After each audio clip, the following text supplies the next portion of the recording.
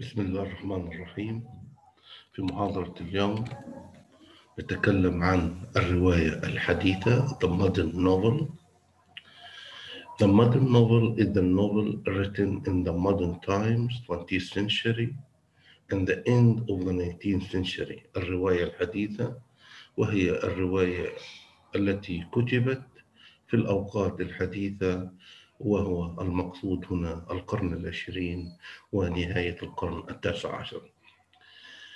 It necessarily reflects the aspirations, concerns, fears, ways of thinking, as well as the artistic and literary taste of the modern era.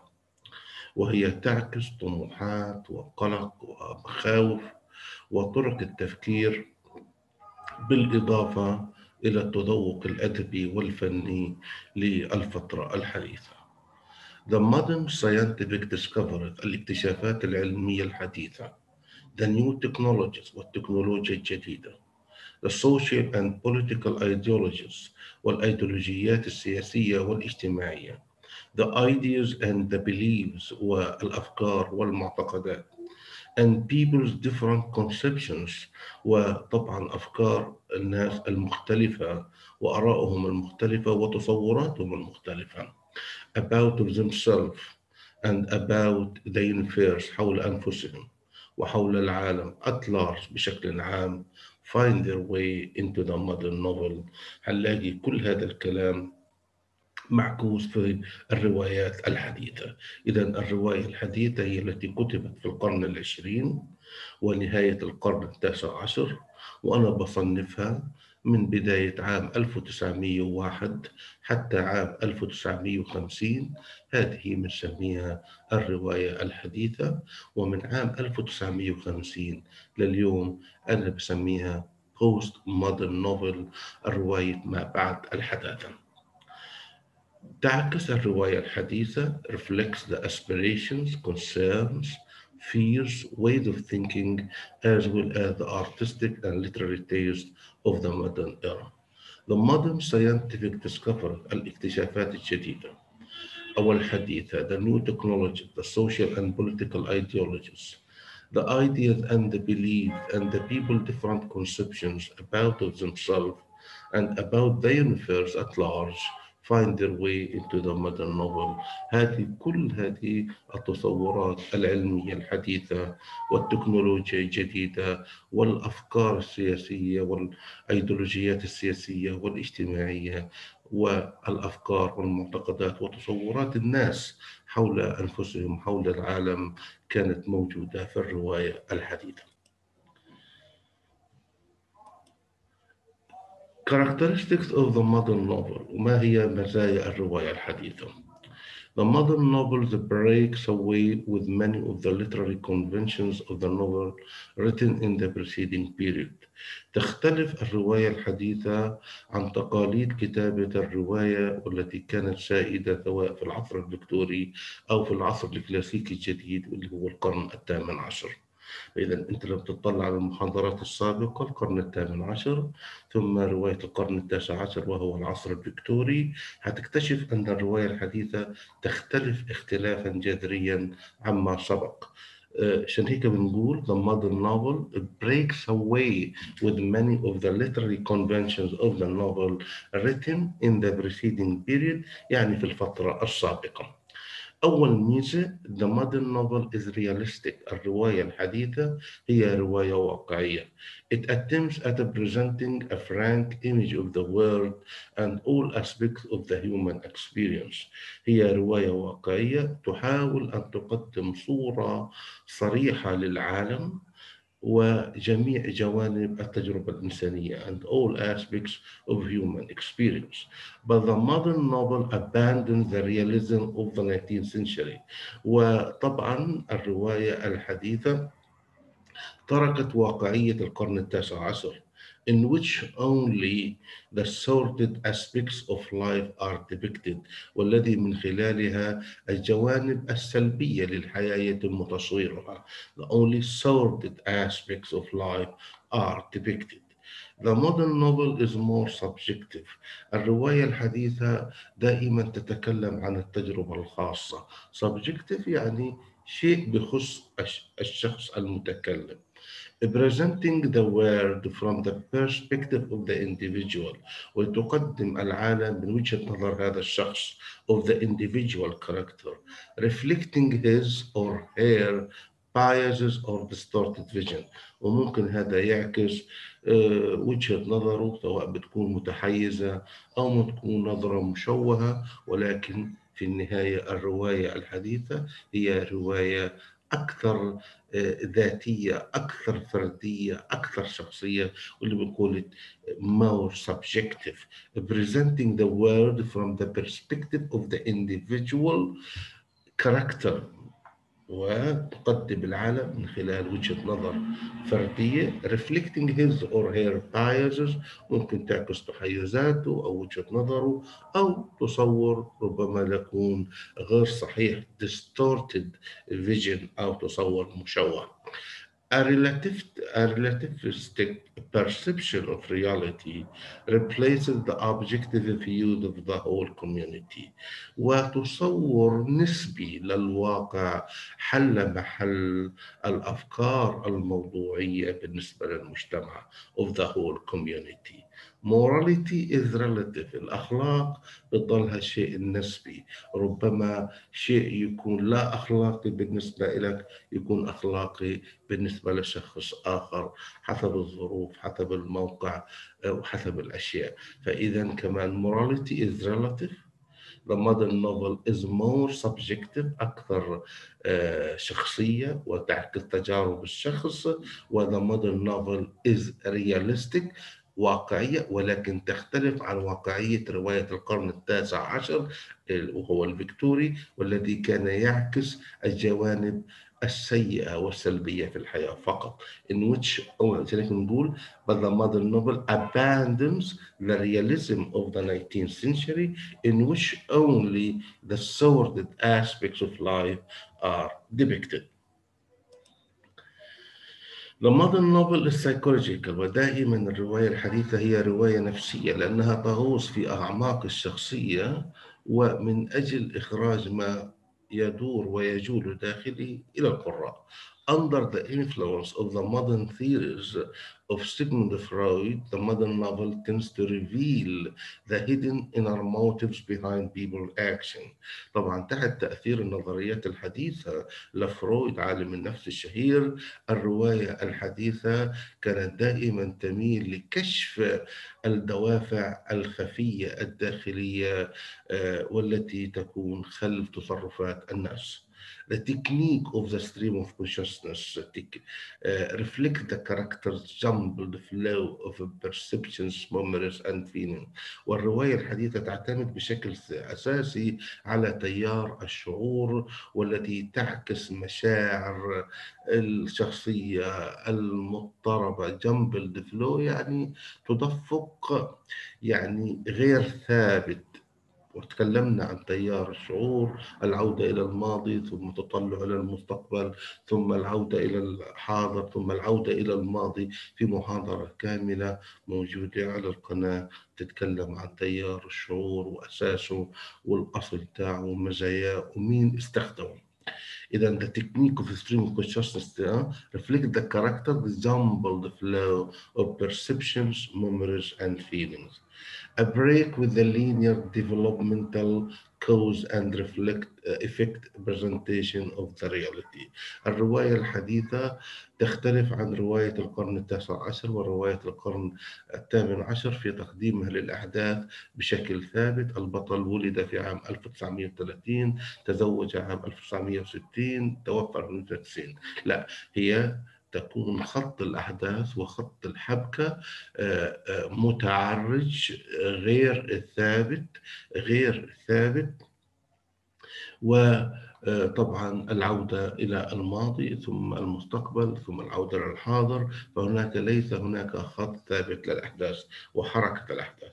يعني كما نقول a break with the linear development cause and effect presentation of reality and with the chronological order الترتيب الاستطرادي للحبكة of the plot mark a large number of modern novels. إذا الرواية الحديثة دائما تبدأ من النهاية ويبدأ الكاتب طبعا بالعودة إلى المقدمة ولكن هو دائما يبدأ في النهاية يبدأ من النهاية ثم يبدأ يقدم بالتدريج الأحداث حتى نصل إلى البداية. عشان هيك نقول أن الرواية الحديثة تختلف في ترتيب الحبكة وترتيب الأحداث عن رواية القرن التاسع عشر a break with the linear developmental cause and effect representation of the reality لا يوجد تنظيم أو شيء منظم للأحداث there is no sequence of events and with the chronological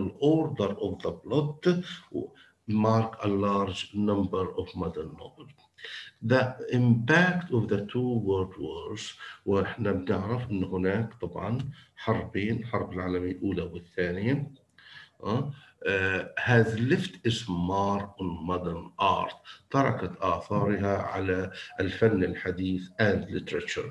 A deep sense of pessimism has replaced the 19th century optimism. الشعور بالتشاؤم حل محل الشعور بالتفاؤل الذي كان سائد في القرن التاسع عشر. The impact of two world wars, the First World War, Second World War, has left its impact on uh, uh, modern art, and literature, and there was a kind of a deep sense of pessimism which has replaced the 19th century optimism. إذا الرواية هنا psychological نفسيا تعتمد على تيار الشعور فلاش باك وطبعا تختلف لا, يوجد ترتيب منظم للأحداث كما عهدنا في السابق a break with the linear development cause and effective presentation of the reality and with the chronological order of the plot and the impact of the two world worlds has left its mark تركت أثرها on modern art and literature and a deep sense of pessimism had replaced the 19th century optimism.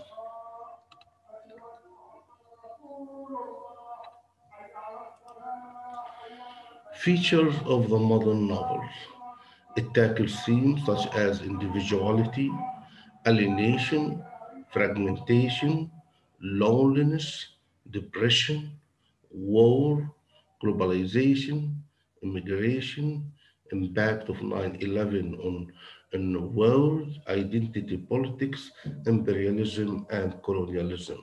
إذا it tackles themes such as individuality الفردية, alienation الاغتراب, fragmentation التشظي, loneliness الوحدة, depression الاكتئاب, war الحرب, globalization العولمة immigration الهجر الهجرة impact of 9-11 tragic events on world. طبعا أثر أحداث الحادي عشر من سبتمبر على العالم. Followed by two destructive wars in Iraq and Afghanistan والذي تبعها حربين مدمرات على العراق وأفغانستان identity politics صراع الهوية imperialism and colonialism الإمبريالية والاستعمار.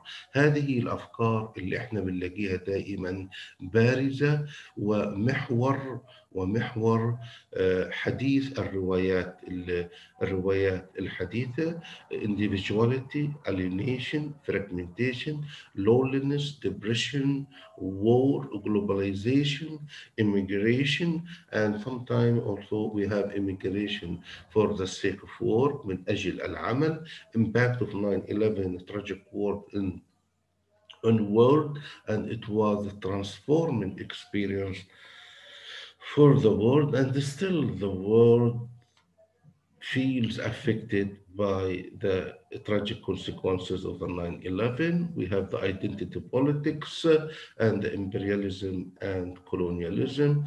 Sometimes you will find more than one idea of those mentioned in the novel. You will find individuality, alienation, fragmentation, loneliness, depression, and some of these ideas complete each other. إذا هذه هي مزايا الرواية الحديثة. Uh, features of the modern novel also decay of a plot وهي لا يوجد حبكة بالطريقة المحودة زي ما حكينا ولكن هناك بعض الانطباعات المختلفة والتي غير مرتبطة بتنظيم منظم للأحداث وأنت بعد قراءة الرواية كلها تستطيع أن تربط هذه الانطباعات والتجارب مع بعضها البعض. So, so we, we have decay of a plot, we have decay of character, we have multiple narration, we have more than one narrator in the modern novel in order to ensure a higher degree of credibility لكي نحقق أكبر قدر من المصداقية in telling the story. It focuses on the impressions and experiences and the inner consciousness of individual تركز على الانطباعات والتجارب والوعي الداخلي للشخصية. It focuses on the subjective realism وتركز على الواقعية الشخصية يعني هذه تجربة أنا مريت مريت فيها عشتها بنقلها بنقلها للقراء أكثر من التجربة الموضوعية التي تخص أو تخص المجتمع أنها بتكلم عن المجتمع بشكل عام ولكن هنا أتكلم عن التجربة الشخصية للفرد وخاصة عندما أسمع تجارب عدة أفراد في الرواية وهذا من خلال using multiple narration in order to ensure a higher degree of credibility and truthfulness. Psychological time والنفساني most of the incidents uh, uh, are based on memory معظم الأحداث تعتمد على الذاكرة psychological time is used in the modern novel or what is coined as a flashback واللي احنا بنسميه العودة إلى الماضي flashback depends on memory and recollection of events which happened uh, previously هو يعتمد على تذكر الأحداث اللي صارت معنا في الماضي. ف معظم الروايات الحديثة تعتمد على التذكار وأشياء حدثت في الماضي وبعد فترة من الزمن يتذكرها الكاتب ويبدأ بسردها للقراء. عشان هيك الرواية اللي معنا قوديل تبدأ بالفلاش باك بعد انتهاء التجربة بعدة سنوات يتكلم بطل هذه القصة عن تجربته الشخصية في دول الخليج و تجربته في العمل في الخارج. It has an open end. الرواية الحديثة لها نهاية مفتوحة لأن الحياة بتضل بتضل فيها توقعات كثيرة ولا يمكن إغلاقها بشكل تقليدي كما حدث في السابق إما بالزواج أو إما بالموت. ولكن بعد نهاية القصة هناك كمان حياة أخرى سواء للبطل سواء أو سواء لأولاده أو زوجته فالحياة مفتوحة طالما هناك حياة على وجه الأرض. فإحنا ما بنقدر نقول the novel has a closed end it has an open end. وهي نهاية مفتوحة قابلة لجميع التوقعات والتخمينات. So we have decay of a plot. We don't have the traditional 19th century plot order of events. We have decay of character. We don't have one character or uh, a few characters or, or a major character where we whole action revolves around him. يعني شخصية كل الأحداث تتمحور حوله. لا هناك عندنا عدة شخصيات عندنا عدة تجارب عندنا عدة انطباعات.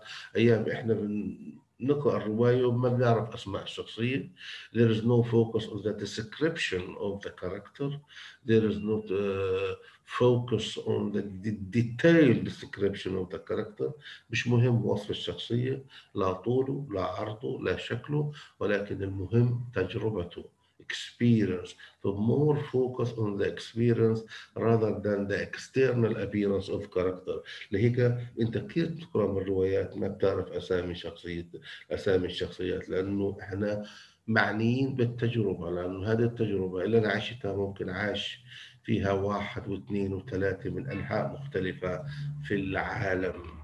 فهذا السبب اللي إحنا آه، لا توجد روايات البطل الأوحد مثل روايات القرن التاسع عشر والتي كانت تسمى بأبطالها. يعني مثلا جين إير باسم باسم البطلة جين إير. فهذا مثال على انه كيف روايات القرن التاسع عشر. كانت روايات character زي أو رواية Tess of d'Urbervilles لتوماس هاردي أو رواية Jude the Obscure هتلاقي العنوان بيركز على البطل نفسه فإذا ممكن نسميها novels of character روايات الشخصيات لا هذا مش موجود في آه، رواية القرن الحديث إحنا معنيين بال impression زي ما حكينا معنيين بالتجارب الشخصية معنيين بالدوافع الداخلية الداخلية للفرد It focuses on impressions and the inner consciousness of the individual. It focuses on the subjective realism rather than the objective realism. Psychology chronological time is used in the modern novel or what is called as a flashback. It has an open end والنهاية مفتوحة قابلة لجميع التخمينات والتوقعات في كمان شغلة ثانية لا يوجد بطل يسرد كل القصة ولكن هنا عدة رواة multiple narration in order to ensure a higher degree of credibility وأخذنا مثال عن قصة The War للكاتب الكاتب الإيطالي لويجي بيرانديللو واللي كانت إنه مجموعة من الأشخاص في القطار هم الذين كل واحد يتكلم عن تجربته ومن خلال تجاربهم تستطيع أن تشكل الحبكة ومجرى ومسار الأحداث.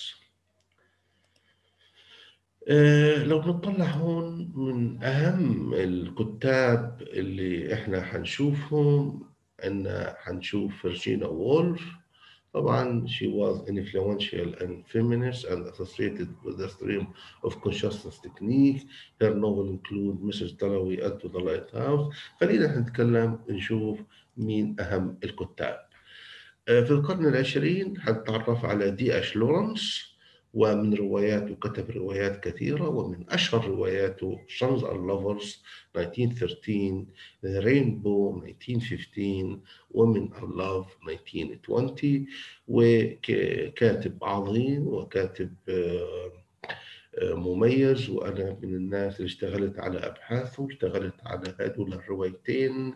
ممكن تعملوا جوجل The Rainbow and Women in Love. تكلمت عن أعمال آه، دي اتش لورنس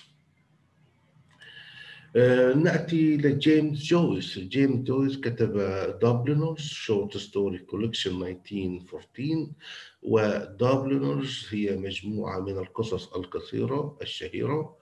ويصادف أعتقد البارحة كان هو ميعاد ميلاد ذكرى ميلاد الكاتب الإيرلندي البريطاني العظيم جيمس جويس وأنا بدرس قصة من قصصه ذا أرابي لطلاب مقدمة في الأدب. وفي كمان عندنا روايته الشهيرة A Portrait of the as a young man واللي أنا في قادم الأيام حاعطي محاضرة عنها وأشرحها. وعندنا كمان الرواية العظيمة يوليسز 1922 فحيمر كثير علينا جيمس جويس في المحاضرات السابقة خاصة عندما نتكلم عن تيار الوعي والشعور. هنا الكاتبة فرجينيا وولف ومن رواياتها Mrs. To the Lighthouse واللي Mrs. Dalloway 1925 to the Lighthouse in 1927 وأنا طبعا اشتغلت على الروايتين هذول كمان في أبحاثي مسز دالوي and to the Lighthouse وطبعا تم نشر هذا البحث في الأردن. وهذا كان من بقورة الأبحاث. جورج أورويل. جورج أورويل ومن الروايات الحديثة طبعا إحنا بندرس جورج أورويل ودرسناه بندرسه قصته الشهيرة Shooting an Elephant وطبعا عندنا Burmese Days Animal Farm 1984 هذا من أشهر أعماله وأنا اشتغلت على Burmese Days. ممكن تعمل جوجل وتشوف إنه أنا تكلمت عن العنصرية في رواية جورج أورويل Burmese Days عن الاحتلال البريطاني لبيرما وبيعكس تجربته كشرطي آه، عاش في تلك الفترة. اذا وهنا صور عن أمثلة عن الروايات الحديثة تجد بفيلز تعتبر من الروايات الحديثة كالبداية أواخر القرن التاسع عشر. كونها كتبت في عام 1891 We have Sons and Lovers. We have Lord of the Flies William Golding. Mrs. Dalloway Ulysses وهذه معظمها أنا قرأت هذه الروايات. هيك بنكون أخذنا فكرة عن الرواية الحديثة إن شاء الله نتقابل في محاضرة أخرى. لا تنسوا الاشتراك. والسلام عليكم ورحمة الله.